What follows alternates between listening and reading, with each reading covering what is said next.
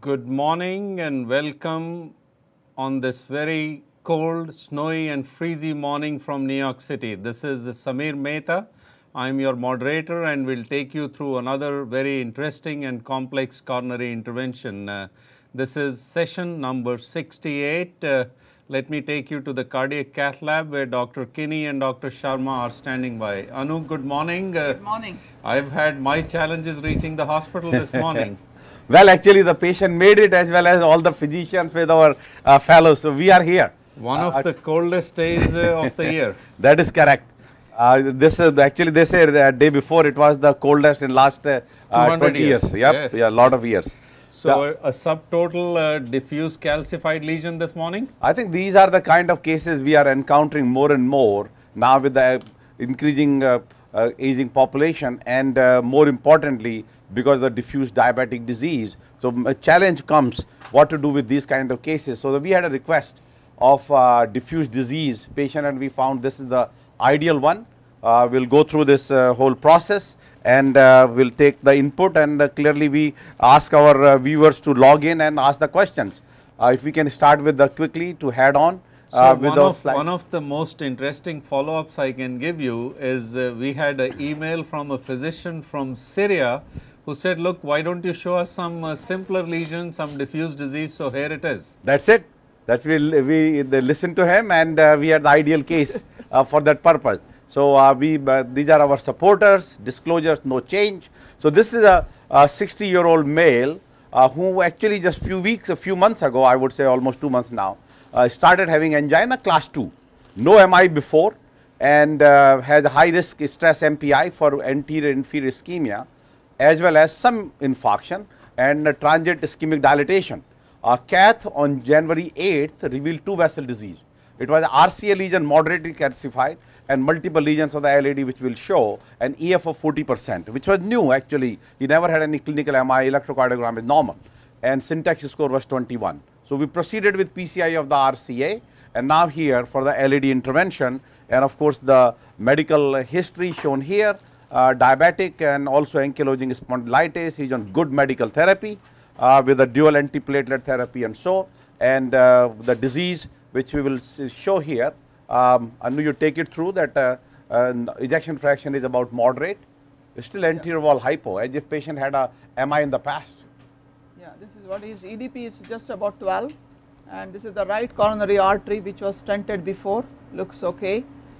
Uh, same diffuse disease uh, some moderate diffuse in the AV continuation but this is where we are dealing with the left side which is the left main is okay circ essentially is okay but the you know moderate diffuse disease of the two small size uh, OM and uh, LPLs but this is where uh, the LAD is. Prox LAD is okay but um, just after the second septal is where we start uh, the significant disease but before that there is a tram track uh, calcium again moderate not heavy calcium moderate calcium.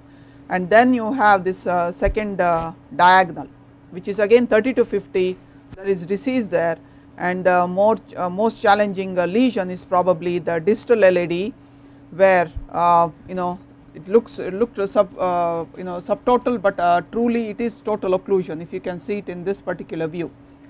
It is about few millimeter 5 millimeters of total occlusion then you can see the LAD and actually if you see in the caudal picture so diffuse disease of the LAD all the way to the apex. So, the real challenge is going to be the guide wire in the distal segment. yeah. The um, um, how to get the s- small I mean the short total occlusion in the distal uh, part of the LAD So, I mean, we have not seen the pre PCI angiograms of the right, but it uh, does appear uh, that between the two lesions, the LAD is more severe. And one would argue, why did you not uh, tackle the more severe lesion first, uh, just in case if you fail, uh, there are other options? Yeah, no, clearly that's a very important point, except that the RCA lesion was 95% on focal. Got it. And this is more diffuse. Got it. Second, if you go back to the LV gram, uh, and that is also part of the same infarction ischemia ischemia, that it could be the distal LAD which we are seeing is already infarcted. See that mid area of the anterolateral wall is moving and the inferior wall is moving. So that we felt that even if we cannot get by some way the distal LAD which is not a good vessel for bypass, so it's okay. We take care of the RCA, take care of the mid LAD, and rest can be managed by medical therapy. And Anu, as a plan uh, with this moderate calcification, uh, although more in the proximal, you're not planning any rotational ablation, are you? No, we are not planning any rotational atherectomy, but I think calcium should always be considered um, as an important part is the same that if we are able to get through the uh, distal apical LAD, the delivering the device to that area, we may have some trouble since there is calcium in the proximal area. So, just this to be kept in mind, but just by looking at the calcium, we should not have any trouble in delivering lesion and should, uh, uh, should not need a rotational atherectomy.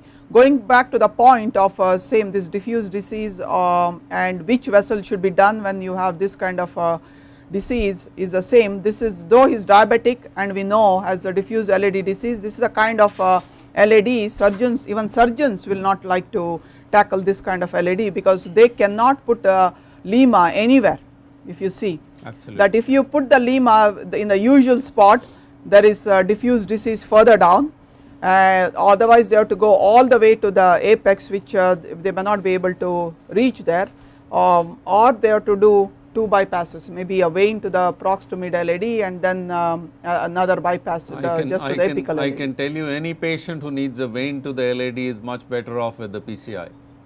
Yep, absolutely. And actually, LV somehow look, to me looks a little worse than 40 percent. Yeah. But two tests showed both uh, nuclear has a EF of 42 percent and the um, uh, Go back to the circle sir. yeah This is an- another Yeah. diffuse disease. This is a diffuse disease where uh, same unless there is significant ischemia, this is the kind of uh, disease that uh, is good for uh, medical therapy again. Excellent, Samin. I, I know you have a very important uh, topic to discuss today with us. good. Uh, then uh, basically our that will be the plan of this calcified lesions of the mid to distal LAD. Syntax score is 17.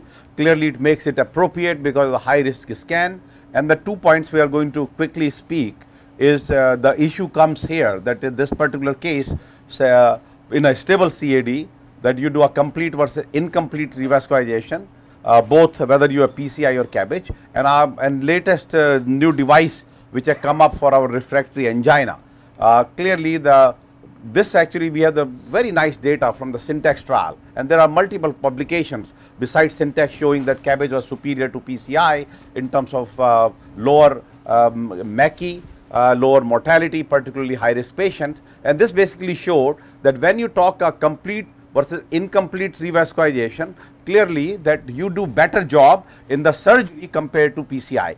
Though PCI you will say that you do complete revascularization in 60 uh, uh, uh, about 50 percent of cases. You see that uh, here 578 versus 510. But if you go to CABG, you have complete revascularization in 70 80 percent of cases. So clearly, complete revascularization is better achieved by the CABG compared to PCI. Then, what about the outcome of the complete versus incomplete in both PCI versus CABG?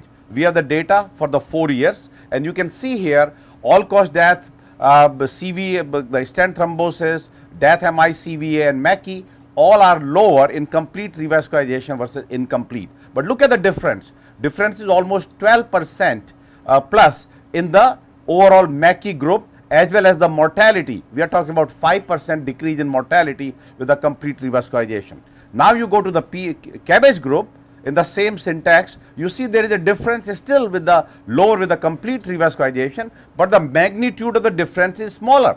So clearly the 3 percent for the mortality and uh, about uh, the 5 percent or 6 percent for the MACI. So therefore, just to sum up that incomplete revascularization does worse whether it's a CABG or PCI, but clearly the magnitude of difference is much higher in uh, favor of the complete revascularization for the PCI group.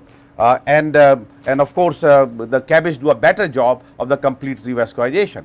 Now, we also uh, from the same data that once you have a CTO, both uh, CABG or PCI group, you can see that if you have CTO, your incomplete revascularization even impart further the mortality and uh, MACI as shown the difference in the curve of the complete and incomplete on the left side for the PCI group and the right side for the CABG group. So that not only the incomplete complete, but if it is a CTO and remember we have done uh, many papers from uh, New York State database in the BMS and DES era. The once you leave the complete uh, totally occluded artery as an incomplete revascularization, it has an independent predictor of a follow-up MACE.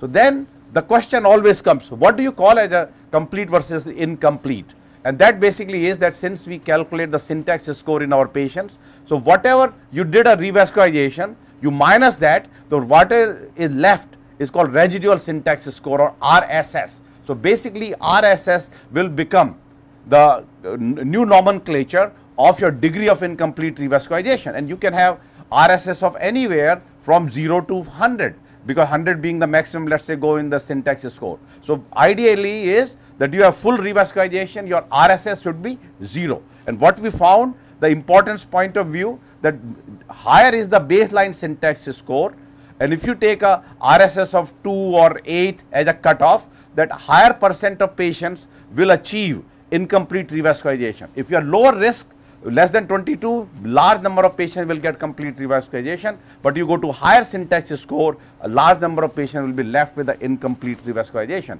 So then question is which are those lesions usually we know severely calcified CTO bifurcation lesions are the one which are left for incomplete revascularization. Then what is the importance of this degree of RSS that is they divided based on the complete revascularization or incomplete to 2 2 to 8 and more than 8 and you can see the gradient and more importantly gradient for the death at 1 year outcome. So, clearly higher the RSS particularly 8 is associated with higher MACE and higher death rate uh, as shown in this uh, very elegantly in the graph that if you have a residual syntax score of uh, 0 you will have 1 percent mortality at uh, 1 year and if you have the more than 8 you have 5 percent. So, 5 times higher odd ratio. Now, what about the PCI group? Because that is what we always worried about. We know that you go for surgery, you get full revascularization. But in the PCI, it's not uncommon, we leave many lesions alone. And the similar kind of data, this is the newer paper by Farooq on uh, the syntax trial, particularly taken only the TAXUS DES arm uh, in these cases. So, similar message same that higher is the syntax score, higher will be the patient left with the incomplete revascularization whether you call it a 4 or 8 wherever your cutoff is.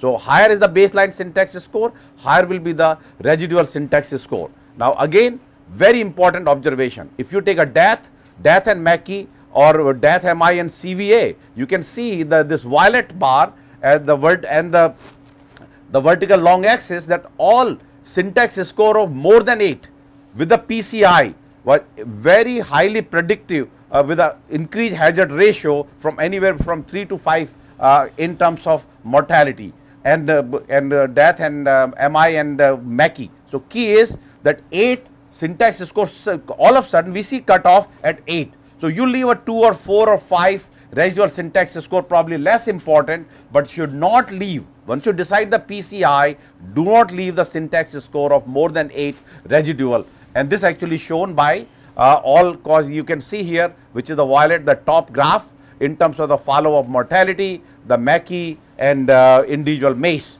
Uh, same thing uh, for other revascularization uh, the um, indicators. Also important that irrespective of the individual syntax score, what you leave in terms of more than 8 Mackie is associated with bad outcome Uh, this is a Mackie at 5 years, the clearly that if you have syntax score more than 8, whether you are in the low syntax group, intermediate or high syntax group, you always have bad outcome. But once you go less than 8, you see the, the graphs are very clustered. So, they are very minor difference. So, 8 is our cutoff that should not leave 8 and above uh, of once you decide and there, there are a lot of uh, issues on this that residual syntax score uh, a boon to interventional cardiology, but I would not call it a boon. I think that basically tells you that yes this is the right thing to do once you decide whether PCI that try to do a maximum revascularization. Then second point I wanted to discuss briefly is the refractory angina and how do you define the refractory angina? There is a European Society of 2002 that a chronic condition which is more than 3 months characterized by the presence of angina caused by coronary insufficiency in the presence of CAD which is not amenable to combination of medical therapy, angioplasty or bypass surgery in patient with evidence of ischemia. Clearly it has to be the cardiac, it is not a patient with the uh, heart failure sometimes and valve disease. It is a the patient uh, the CAD and of course some patients cannot get a CABG or PCI. Uh -huh. So they also will fall into the category of refractory angina.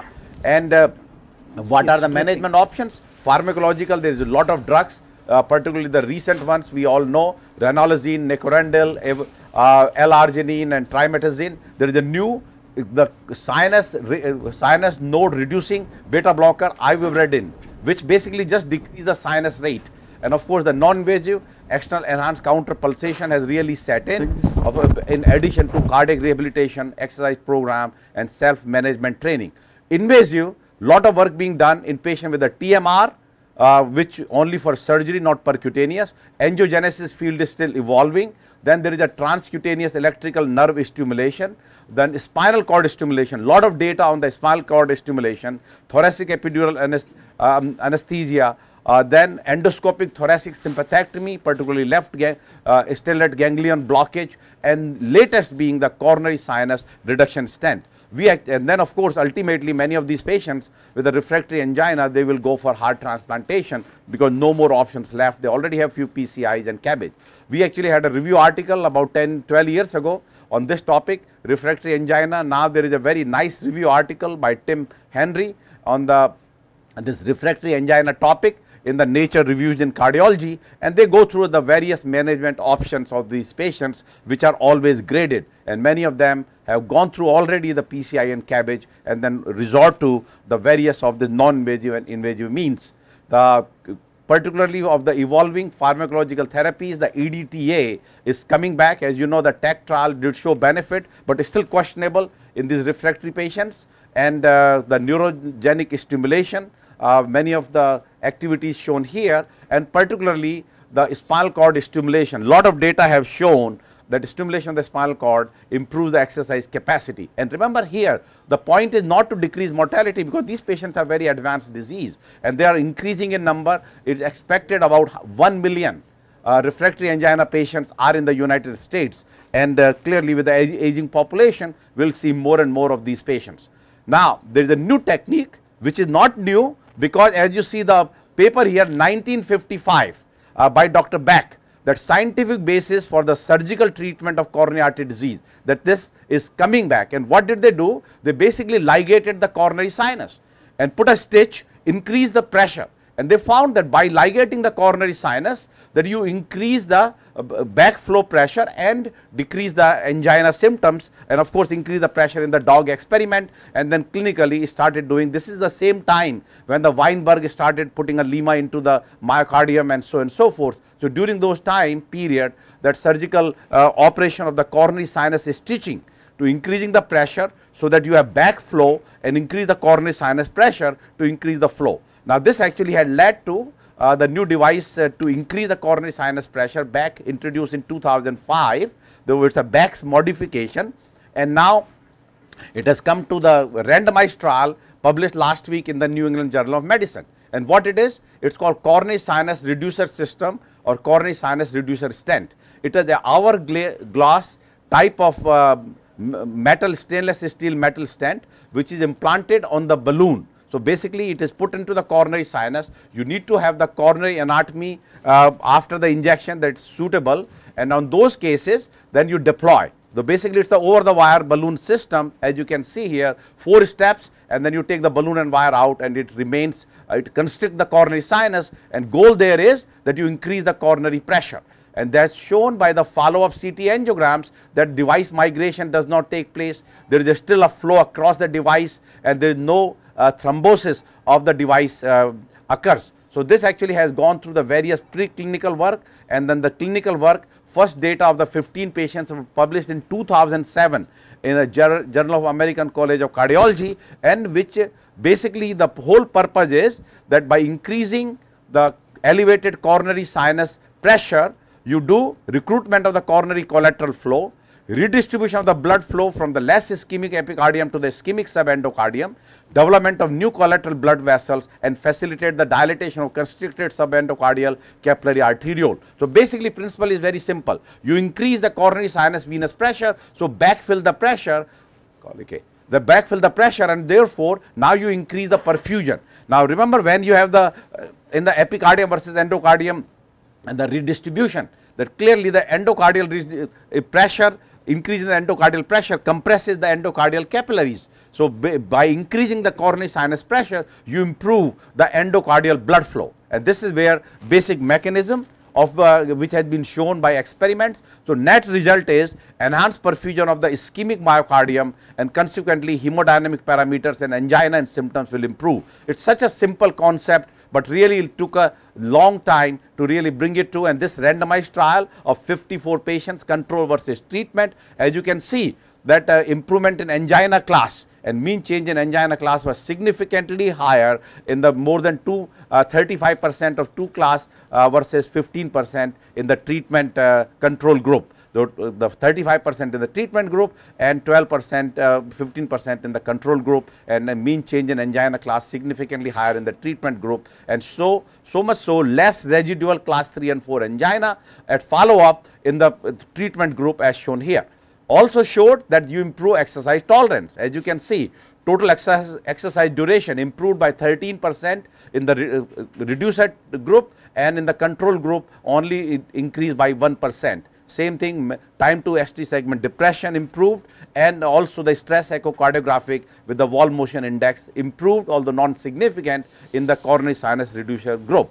So, therefore, and what happened eh, as far as the other issues with the device, there was no device migration, no device related injury. The, although it was successful in 50 of the 52 cases, there were 3 MIs and 1 death in the control group and 1 MI and 0 death in the treatment group. So, therefore, it is a safe and also effective. So, therefore, now we have a new device for treatment of this refractory angina uh, at present. So, clearly I mean it looks like such a simple concept, but uh, it makes us believe that how how we did not think about and did not come to the clinical trial while these patients continue to increase.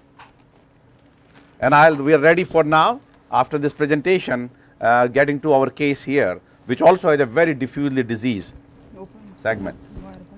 So, I mean uh, fascinating work on the coronary sinus reduction. I'm uh, you know one of the questions which comes to mind is what is going to be the next step in its development yeah no i think it's a clinically in my opinion after this NEJM paper it should get a rapidly the europe uh, uh, you know approval in the europe and uh, and then soon uh, will come probably in the us we still have to do some, the, because some of the centers trial, no? yeah. yes some of the centers were part of the us also uh, in the study uh, with tim henry and so mm. so clearly that whether fda will approve it for clinical use to me I think this is in a, some refractory cases and we have seen patients who are coming back uh, repeatedly after the have done CABG, have done PCI and then keep coming back so that this will be ideal device for that purpose.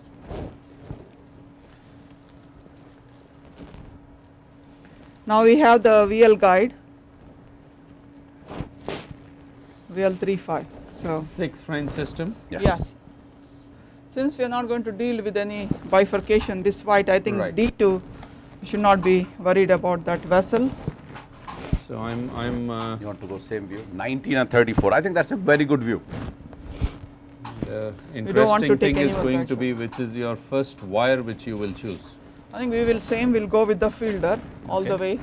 Yeah, I mean clearly the some people will believe you made the curve already. Yeah, yeah, I have the curve. Yeah, or ACT was a 280. Huh? Turn of face a little bit different. Yes, that, uh, oh, uh, ankylosing, yeah. His the movement of the head is limited because of his ankylosing spondylitis condition. Move, move the head little bit. Can That's you take fine. the pillow out? will be okay. Take one pillow It will be okay. That's fine.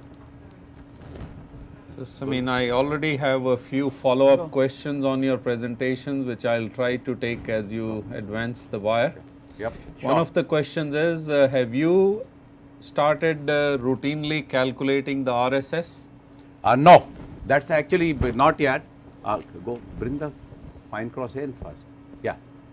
Yeah. No, we actually, I think the more and more data, particularly when you are doing a multi vessel disease, so one of the things I going yeah, back to the case I noticed straight away you decided to use the support catheter. Yes. I mean these kind of cases you have to have a support catheter. Don't waste time. Uh. Just just proceed with it. Yeah, because not only that, even with a support catheter, uh, the difference will come. Now, in this particular case, the issue could be that should we use a Fielder XT because of the small channel distally, and we'll come back to that point.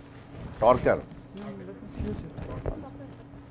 One second. Okay. Now, usually we don't try the torquer, but in this particular case, I would say will be the reasonable because movement in the calcific vessel uh, getting distal wire, uh, you know, transmitting your torque in that rare case.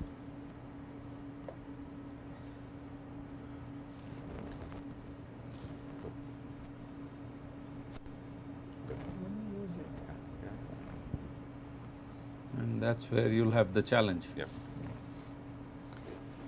Are your surgeons using the residual syntax score? No, I think to me, the probably once they go for surgery, always issue comes that uh, you know they will be okay from uh, as we showed by the data that with the surgery that majority of them get a full revascularization. And I was surprised that uh, in uh, syntax trial the surgical patients have uh, also had incomplete revascularization one third of the time, which is a little surprised. But majority of the time, uh, the, again same thing because those diagonals and OMs, which we call the disease, little die. Can I see it, the little die? Yeah. Okay.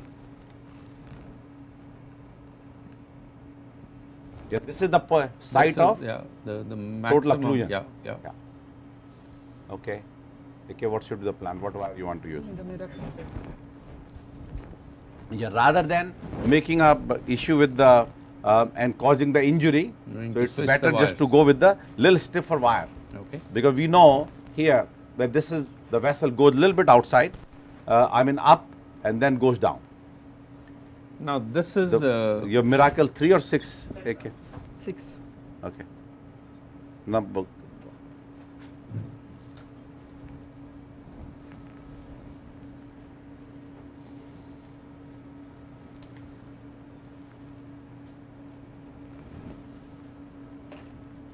I mean, this is uh, an area which one could have so many implications and applications of the residual score. Uh, do you think uh, we could reach a situation where uh, you would be stating that to a insurance company that this is the reason we need to bring a patient, he has a significant residual syntax score? I mean, that I think uh, the makes it a good point that particularly if you decided the PCI, Some tell line. me when to give, yeah, that once you decide for the PCI and then uh, going the complete revascularization and justification by the insurance carrier will be, you will have a, a leg to stand on and making that recommendation. Right, that, that's a substantive uh, uh, outcome data. Engine nine there. Yes.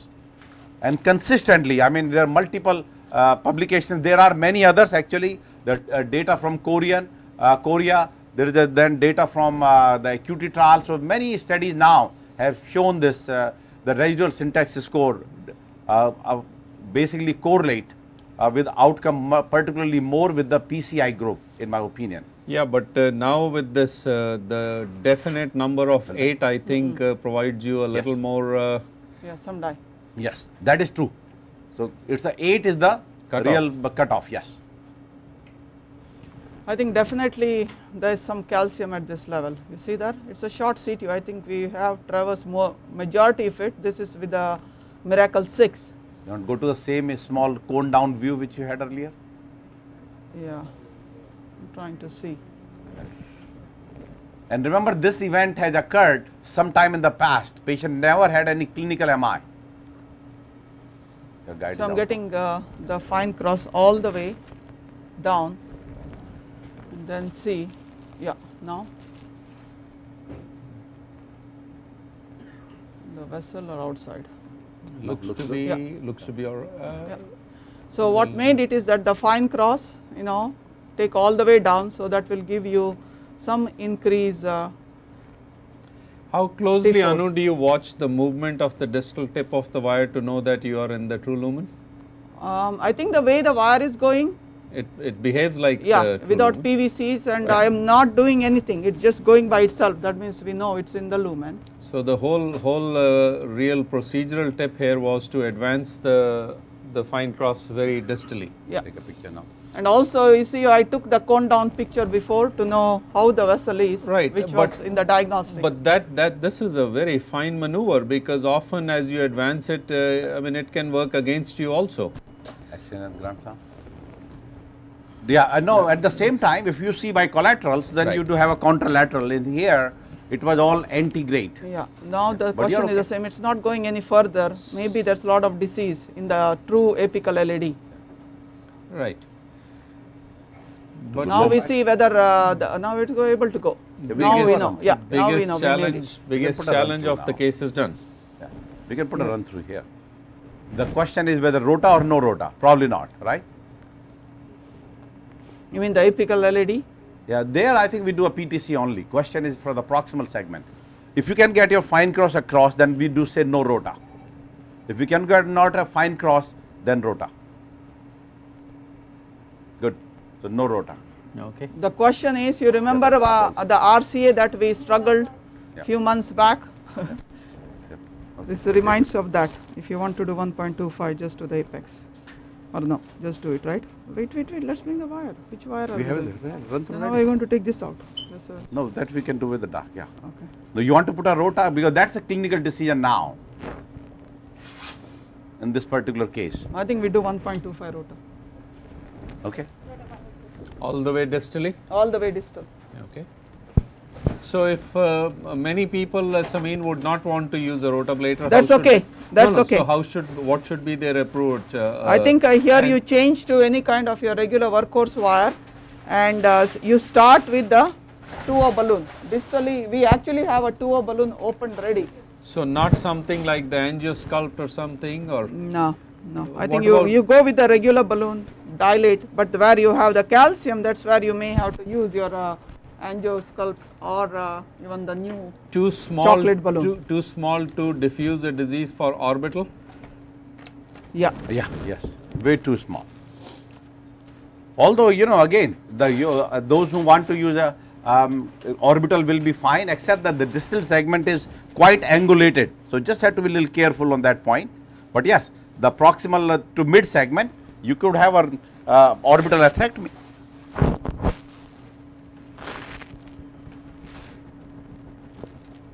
So you would go with a 2O balloon, that's again not a, you would go with a compliant balloon, dilate the distal area. If we are not going to do rota, what would be the other option? But the prox, the mid LAD where we know there is calcium, that is where I think you will need AngioSculpt. So, I mean the coronary sinus reducing uh, device could have huge applications. Yes, yes.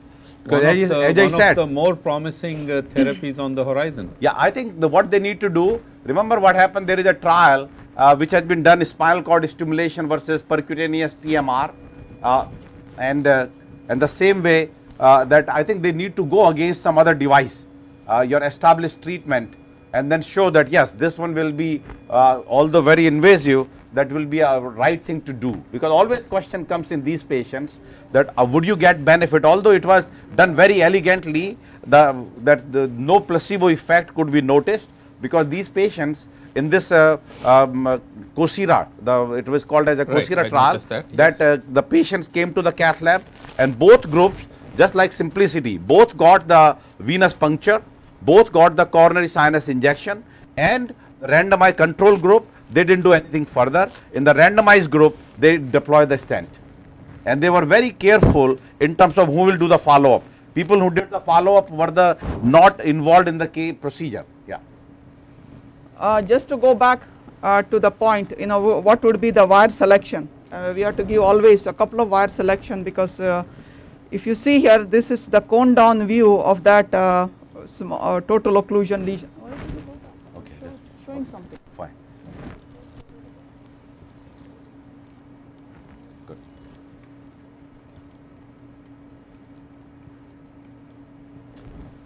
Samin, very interesting, very interesting question has come by here.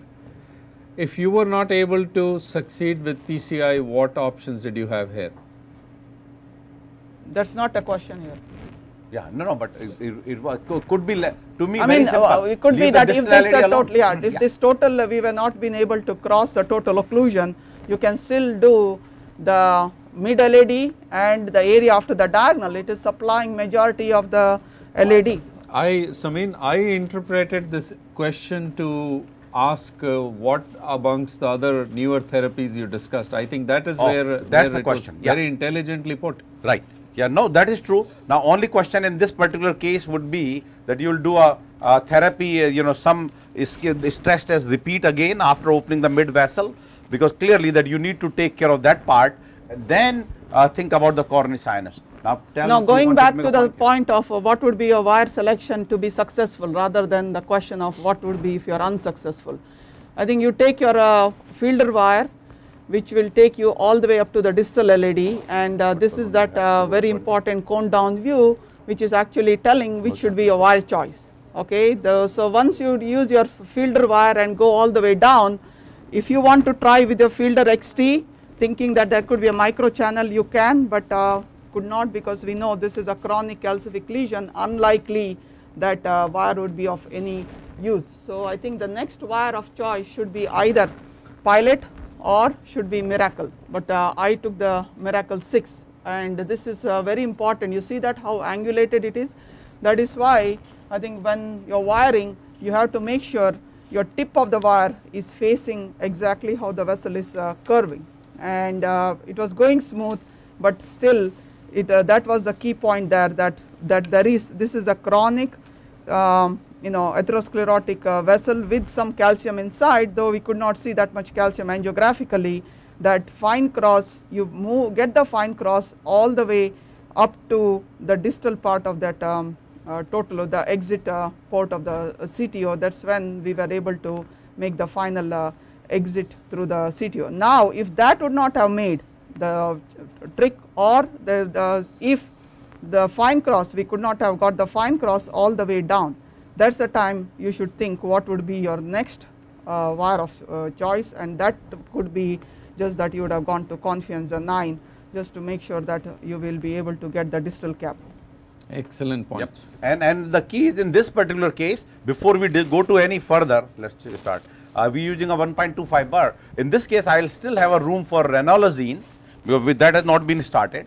So that uh, knowing that patient has just class 2 symptoms will get better by our interventions here. But uh, then you need to show the ischemia on ranolazine. Low. Yeah. So, and after that if those fails then question comes what else you need to do. Now since patient does not have a heart failure symptoms there is moderate LV dysfunction but I would still give it a first try of the EECP. Now after EECP as you know it's a 6 week course 35 uh, courses 1 hour uh, is good for 1 year uh, actually it's a 2A indication uh, and uh, really helps uh, many of these patients. Then the the other refractory cases are the one if we have availability and patient continues to have ischemia knowing that there are not in terms of much symptoms continues to have ischemia or you know angina then you definitely will think about other modalities whether it will be a coronary sinus or it gets uh, you know our spinal cord stimulations and so or maybe a TMR. This could be the case. No bypass, go and make the laser holes in mm-hmm. the surgery. Are your surgeons doing it? Yeah. Not commonly, but this is the kind of case. Yeah. Yeah, this is the kind of case where surgeons, even if you go for surgery, they will not bypass the LAD and just make the laser holes, but to put the bypass if required into one of the proximal circumflex OM Yeah, area and the RCA. And I think the bypass still can be done to the mid LAD Right. but not to the distal. And that is the question is basically what to do with that. What speed do you have there, the burst speed? Yeah. Don't go for that. Yeah, so the gradually it has been advanced up to the area of uh, in question. And what was the run bur- what? what was the burst speed you had used there? About 160. Okay. and the 1.25. Think you were able to advance through the distal segment? Yeah. Yes. Okay.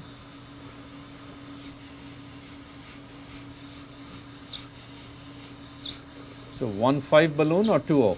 We have a 2 balloon for the Oh. distal. All right. We'll have to put a 2 5, right? Long stent. Yep. 2 5 32.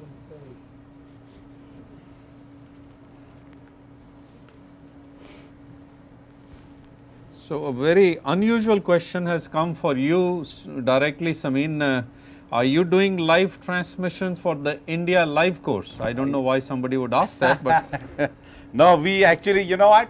It's a two. It's a big story. It will not be done in uh, one sentence. First, I was supposed to be in India, and I had a slotted time at 2:30 on 27th Thursday uh, to live relay. Actually, on Friday, 27th, uh, uh, from Jaslok, uh, me and uh, Dr. A.B. Mehta. But then, uh, because of important meeting of the hospital, I backed off, and I'm not going to India live. Then plan was to relay it here. So then they say 2:30 relay. Now 2:30 relay means 3:30 a.m. You know, I know my staff is very, uh, uh, you know, cooperative, but bringing them at 3:30 a.m. Uh, and uh, by the time uh, Dr. Matthew told me that it was, uh, uh, you know, other sites have already been booked with the satellite timing, so it's not possible to change it. So we just backed out. So it just happened last few days. You might still see us in the invitation and the announcements, but uh, we, I'm no longer the part of the um, India Live- this year. Unfortunately, after being part for so many years, uh, because of various reasons, logistics. But uh, you know, one time, remember three years ago, not only I was a part, I flew that night and came back and did the, did the live case um, on the third day of the meeting. Yes, that meeting has, uh, has become a very powerful uh, source of uh, education. Powerful. They have so so much uh, uh, live um, the webcast of all the complex cases, structural heart disease cases. is a great meeting. It's honor to be there, but we are going to miss that honor this year. I hope that you can also get yourself involved in the other uh, very important Asian meeting, uh, the CIT, which, which is uh, in the last week uh, after ACC in uh, Beijing. Yes. Yeah, Beijing is the Japan. I'm sorry, but in the China. Yeah. Has a very, We very large uh, picture after Rota, attendance there. We did. Never picture. did. Yeah. We did the picture. Let's see. Yeah. No, Plus. no, we don't have one. Right there. okay, okay. Yeah. Good. You're not, you're not planning to go to the very apical, that, that not is, that would be too ambitious. Yeah. Okay, This is the post rota. Looks good. looks That's- very good. Yeah. 2.25 long stent. Excellent Approximately channel. mid. Okay. We'll be done soon. Okay. Tell us which balloon we have now. Okay, go up here. Two or fifty. No Mini Trek or you wanted some view for you? That's proximal. Samin, you do a lot of PCI internationally also. Which is the longest stent you have deployed? 48. Many, many 48, particularly in India, very financially economical. Uh, you want to go a little further? Um, but but 48 millimeter. Another thing, where do And those stand? are very nicely trackable. I think we are good. Can take a picture? Yeah, Okay. And pull back the balloon a little in the guide. good. Okay.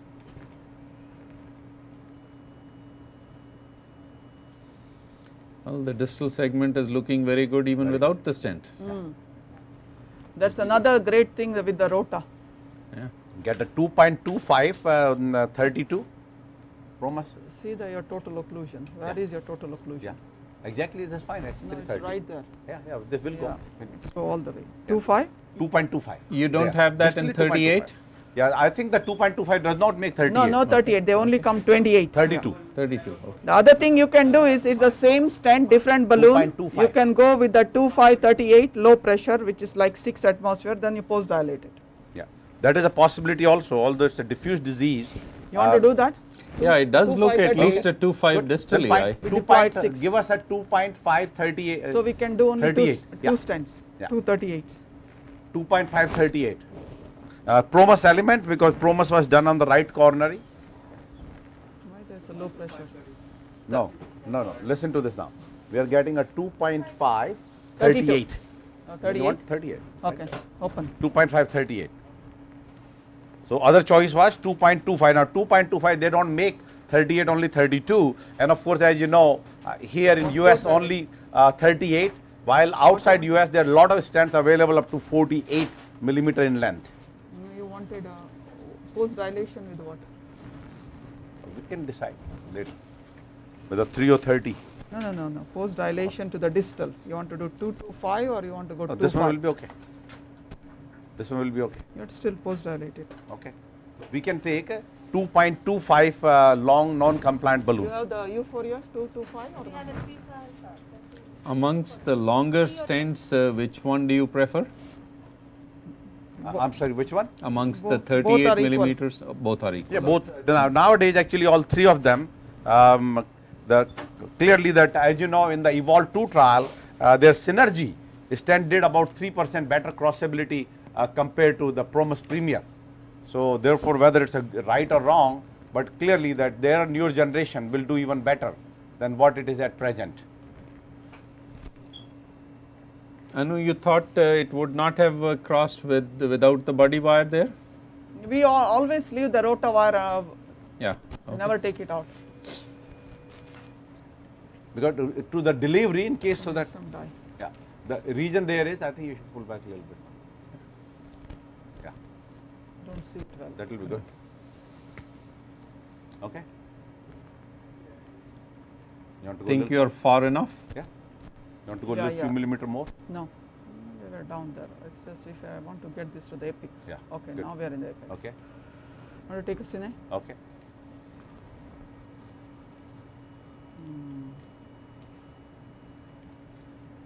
It's a lot of diffuse disease. I mean, you want to go a few millimeter more. Yeah, I thought. Uh, Yeah. No. No? You are in a way Yeah, yeah. further down. Huh? Okay. Good. Done. Okay. When 10. Now this we are going to deploy at 8 Six. atmosphere. And then go back and post dilate. Yeah.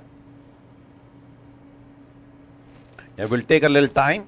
Now, key is also what we start doing now that you don't do a cine. Cine gives you more, just make it a fluoro save. So now stent will not expand, we know. But now you pull back and then we can go a little higher pressure there. See the stent has not expanded there. Go back again. What? How high you went? 8. Will not come out now. Yeah. Hmm. Was a mistake. No, this will be okay. We pull back 2 millimeter and then, I mean 5, 6 millimeter where there is a bulge and we can go high pressure. Then So we'll be okay. Distal 2.25. What are you showing me? So this is exactly And- Anu the situation where the guide, guide will get sucked in yeah, as you yeah, remove. yeah, yeah. And the wire will go further. Right. We are 2.2530. We are 2.2530, which is good.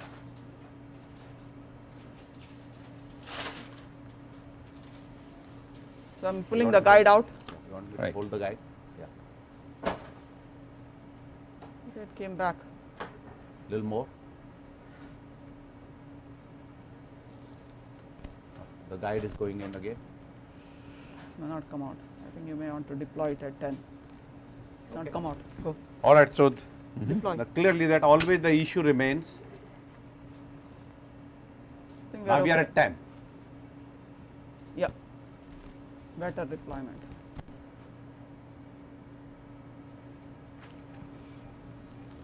What do you have 2 to 530? which will be very good. Okay, down. So now go forward a little bit with the balloon. So unfold the folds comes out of the stent struts. I'm going to low mag.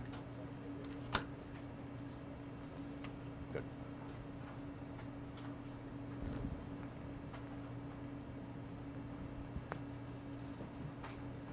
It will come out now. Hmm. Can you st- Huh? They start coming out.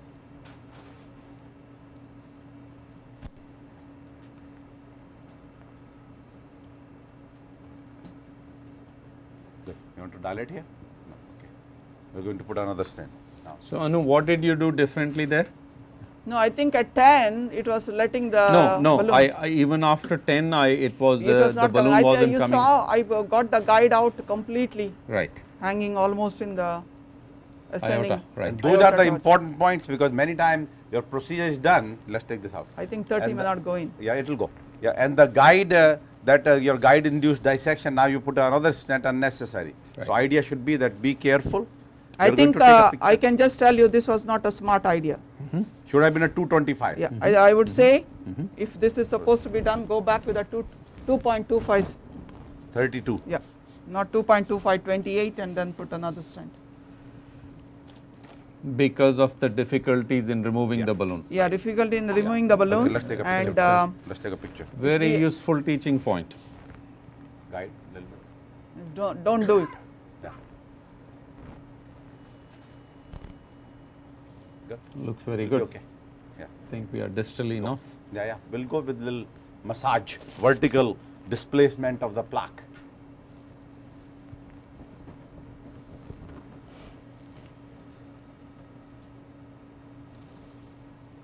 Let's leave it there. To our viewers, One of the uh, one of the things that you need to is that some many times, very rarely, suppose you have not been able to deploy. You know what is the other situation that uh, normally this happens, but rare.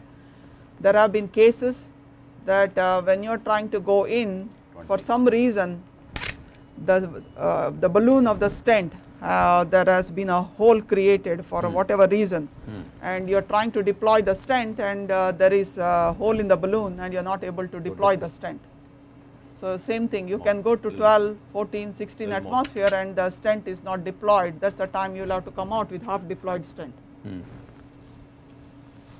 In cases of that situation, you may not be able to get a post dilation balloon inside the stent, in which case you will have to go with a two, you know, just a regular two balloon, deploy the stent and then go with the post dilation balloon. Okay. Now do a distal edge a little bit. Smooth it out. So now we are dilated the distal segment of this uh, uh, stent at 12 and the proximally with 18. Uh, this is a 2.2530 NC quantum. And now just a little 2 atmosphere distally. That's okay. Now we do the proximal end. Clearly we need to flare and the proximal we can put a, mm, a 2.75. I was the thinking more of a 2.5, but we'll see. Pull back more. This one we dilated at 20. We did a little more. You go You want to pull back a little more. Yeah, but we are dilated, put a stent there anyway. So the, here we go 20 again. so just to enable the passage of Yep. the second stent into the struts of the Yes. So you're going to put what 27528 Let's see. up to the Two- first septal. Okay. The 275 uh, 28 uh, versus 32. Which one will be? Good. We take a picture. Let's Samin, see. I was also going to make the announcement for the viewers to watch the peripheral interventions, uh, which is on March uh, the 25th. Uh, how is that coming along? Uh, Not March, this month? you mean uh, February. Yeah, okay, so I have February. exactly right. 28 will be. Can No. you give me fluoro? The wire is gone to some. Yeah, I have a little handout which had uh, March, but yes, you're right, February the 25th. And March 17 would be our session number uh, 69. Yes. How is the peripheral interventions uh, segment coming up? It's quite good. No, ours will be next month. Uh, next month, what date you had? March the 17th? 32, no? Okay. You need from there all the way to the first septal. Yeah. Uh, it should. Uh, 275, 32. 275, 32. Yep. Yeah, yeah, yes. Patient is feeling some pain.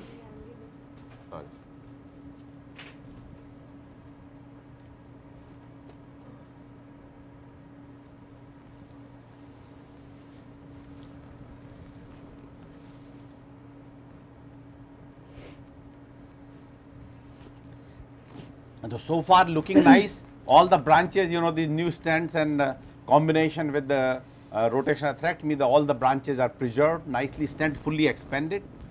Um, chances are uh, that second or the third diagonal right? will have some pinching after the second stent, no? well, that's uh, uh, that will be the one uh, the, the work in progress, but I think it Yeah, should be okay because we that should is be one of the biggest diagonal. Yeah.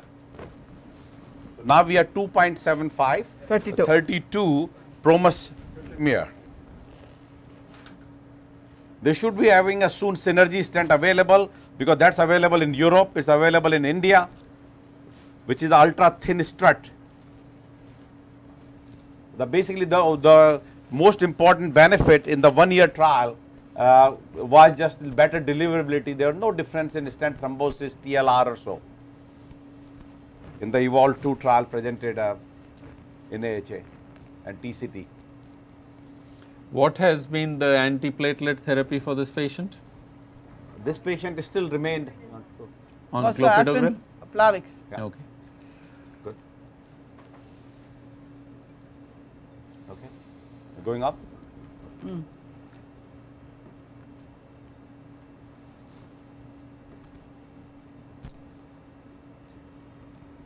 Sixteen.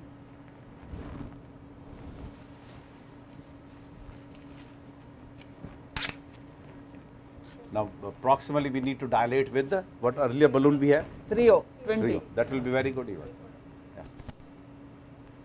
Good. Okay, just overlap again. You dilate uh, overlap area with the moderate pressure. Don't go to those high, but uh, then we are going to post dilate this lesion. And here issue will be patient has a good two septals and two diagonals.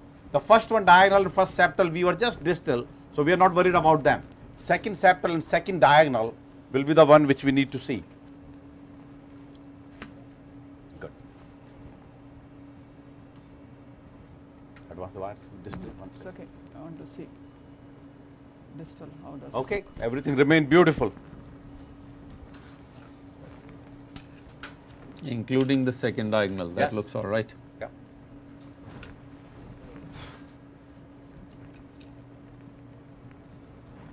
Why they even connect it to the balloon? I don't get it. Yeah. I Good. want to Yeah. teach them. Now, which is the, this is what trio?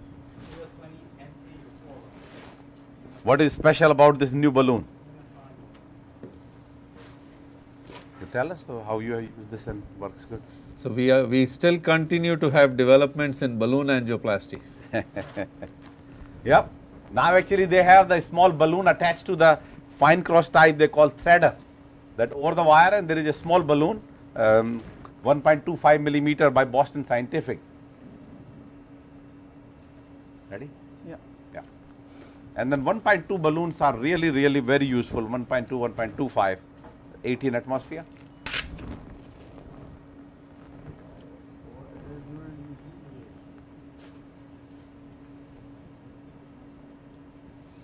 So Anu, this is a, a very uh, minor point, but why did you not start with the distal segment first?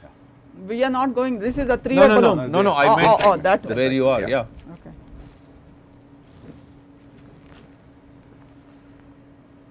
But that's right. I mean, you start there and then Right. you come back. Yep. Oh, good. Take a picture? Okay, so we, I think we are good. We're just going to take, uh, we took the wire out.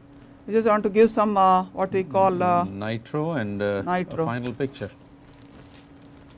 rehabilitation, psychotherapy we say for the vessel. Rehab of the vessel for refractory angina. We gave some refractory uh, diffuse disease vessel. Vessel, vessel Nitro. looks very good there. verapamil for the distal vessels. There are a lot of people use adenosine, we use verapamil. Uh, and the really thrombotic slow flow, there um, your si- nitroprusside and so, uh, the good one, but, okay, ready? Advance. Good. Okay, then, so that then I'll f- complete my presentation. Which- Huh?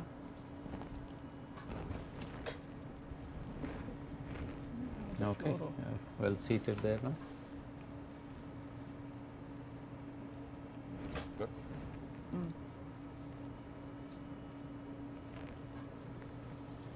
All the branches are there, distal flow is good. Excellent. And then we always teach that to use a last picture in a low mag, so your entire heart, so the wire perf and all it, everything you can see. So I will always take a last picture. Look at this, beautiful. You know, now that you, you look at the whole vessel, uh, it looks like that distal part could have been uh, reached. Uh, No, no, but this will get better. This will by All right. with the flow mediated vasodilatation. One comes back, this vessel distally even will be better. If ever he comes back, look at this. There you let the nature takes care. all right. Okay, we come back to our point. Um, the take home messages, and then we'll uh, get a final word from uh, uh, Anu about uh, the case. That complete revascularization compared to incomplete after PCI or CABG is associated with lower long term MACE, including death. The CABG is associated with lower ICR versus PCI. So, CABG do a better job of complete revascularization. Then, residual syntax score of 8 is associated with higher death and other major cardiac events. Hence, in PCI of complex lesions, with high syntax score, effort should be made to optimize PCI procedure towards I for complete revascularization. And complete revascularization here by definition is that uh, residual syntax score of less than 8.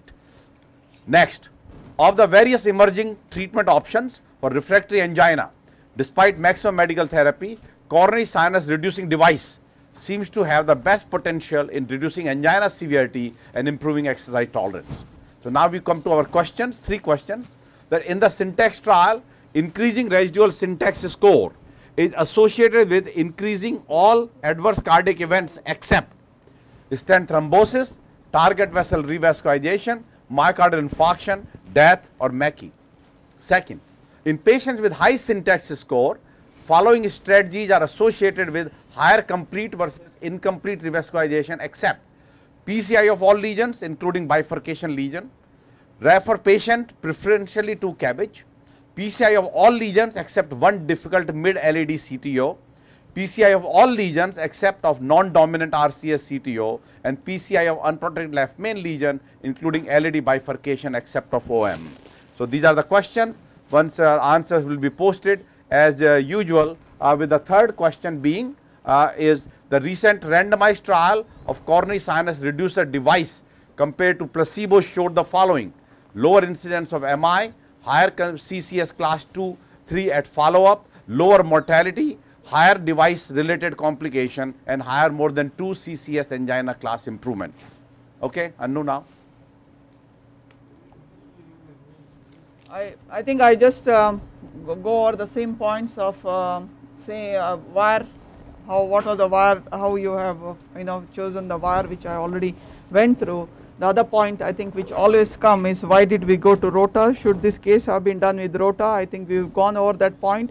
Rota was not a must in this case, but uh, in this kind of diffuse disease, um, you know just by doing 1.25 bar we were able to get a good angioplasty result and came out with the uh, uh, segment of, stenting of the uh, vessel which we actually planned for that we did not need more than uh, two um, long stents um, branches. yeah with the patent branches also. And the more important thing also is one other technical point that one somebody has to see is that this is something that we expect and we see is the apical LAD which you see there right now diffuse disease.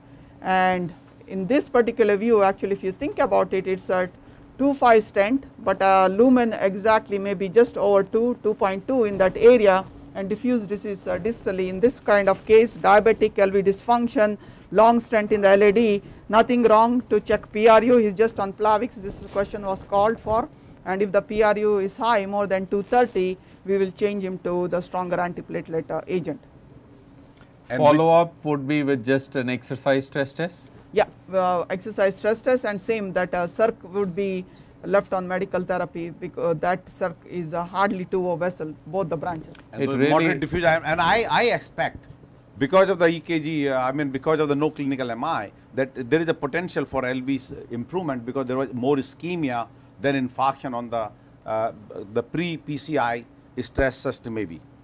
Look, in the AP cranial view, it's a beautiful, uh, the conformability of the stents and I think uh, the sizing has been, yeah, this is the view I was talking about. Uh, there we go, beautiful uh, result. Uh, Samin, uh, final words from you? Yeah, no, this is a great, uh, an idea would be that we are more and more cases we'll do, bring a run of the mill rather than uh, bring a very exotic, the very complex which nobody will like to do, uh, but uh, go through the teaching points so that everyone can start doing the cases which we are doing with a great success.